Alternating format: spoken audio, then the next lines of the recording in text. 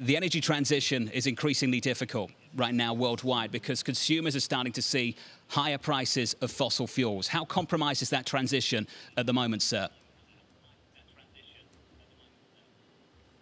Uh, thank you. I think uh, there might be a misunderstanding, or some people are trying to portray it in a way as if the current market crisis uh, is the first crisis of the clean energy transitions and the current situation with natural gas or oil or coal, it has nothing to do with the clean energy transitions. There are different fundamental drivers uh, for that. And in, in, my view, clean energy is not the uh, cause, but the solution uh, to this uh, problem uh, we have. So therefore, it is important to put this in a perspective and the price of oil you were just talking about a few minutes ago Today it is uh, above $80. Uh, but uh, today we, the world consumes about 96 million barrels per day. And only 2019, the world was consuming much higher, 100 million barrels per day of oil, and the price was uh, $60.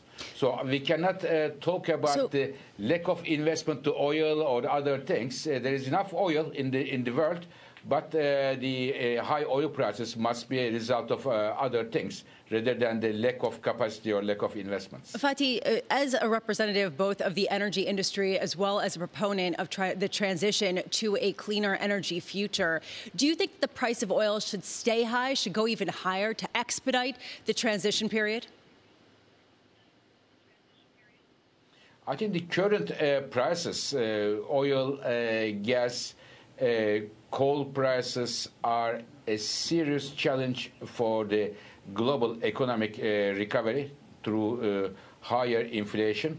And as such, uh, those uh, prices I would like to see uh, lower than they are now.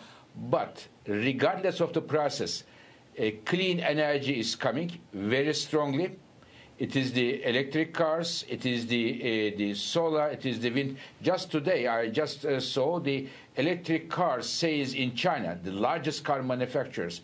Uh, it is more than 20% of all the cars sold in China are electric cars.